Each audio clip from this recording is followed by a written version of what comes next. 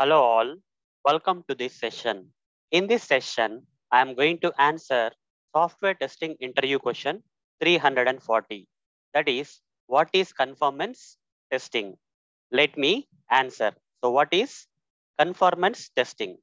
Testing whether the developed application or software meets the required standards and regulations or not. Okay. Here, as software tester, we are checking whether the software which is developed by the developers is meeting the standards and regulations as per the requirements. Okay.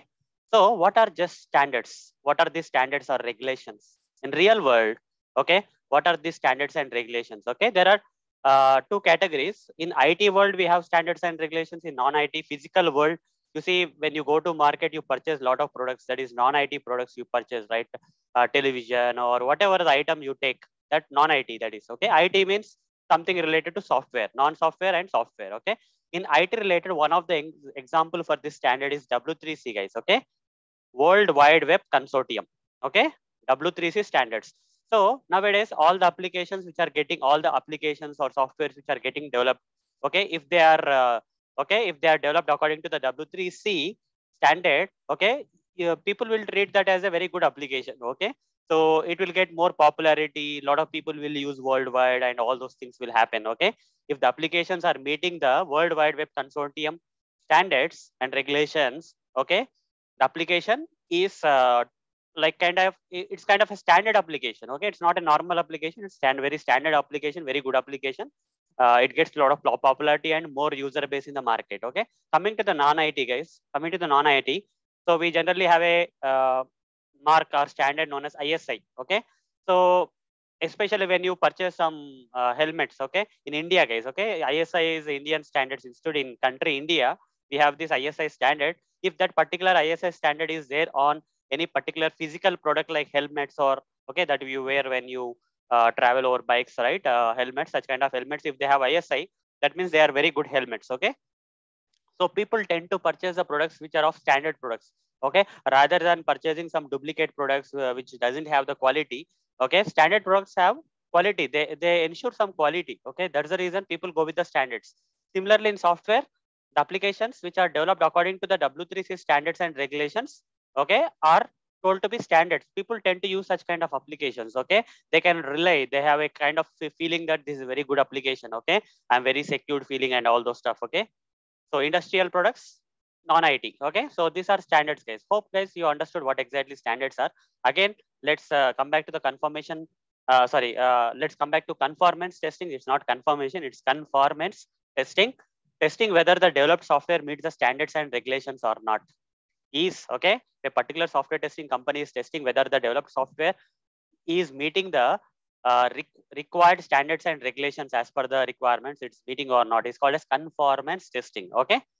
So here, who will perform testing? Software testers only will perform testing, but these people will not be the will not be the uh, will not be the general uh, software testers. They will be uh, independent company guys, which is specialized in uh, verifying the standards and regulations. Okay, a company which is not testing the general software testing applications. Rather, it is a company okay which is specialized in one particular type of standard so such companies will get the projects okay? Because they have a track record that uh, these software testers who are who belong to this independent company are providing the services where they are testing whether our application is according to the uh, given standards and regulations in the market or not okay? So some companies will be there in the market uh, which generally do this kind of testing services confirmation conformance uh, testing services okay?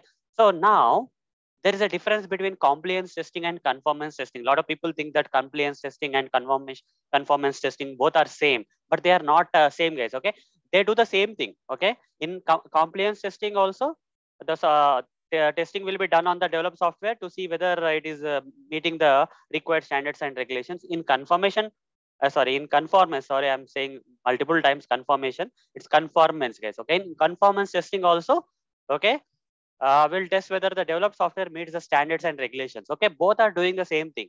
But what is the actual difference between compliance and conformance testing? In compliance testing, okay, both though both have the same purpose of uh, testing whether the required software is according to standards and regulations or not. Coming to the compliance testing, it is done in a formal way. Okay, formal and precise way, very strict to process, precise way, formal way. Okay, it uh, the checking testing will be performed in a formal way and precise way means very accurate it should be okay? So if they are certifying that this particular particular software is according to the standards means it is very precisely they are saying okay?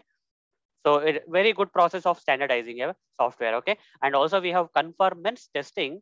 It's also related to uh, checking the same things. Purpose is same but it is informal way okay? Less precise. It's not so good as compliance okay? Compliance testing uh, standardized in a very particular precise formal way but here conformance informal and less precise way okay? So you need to understand the difference between compliance and conformance both have the same purpose but one is formal way and precise way whereas another one is informal way less precise way okay? Of testing according against the standards and regulations of the software. So hope guys you understood what is conformance testing in this session. So that's all for this session. In the next session i'm going to answer another software testing interview question for you. Till then See you. Bye bye.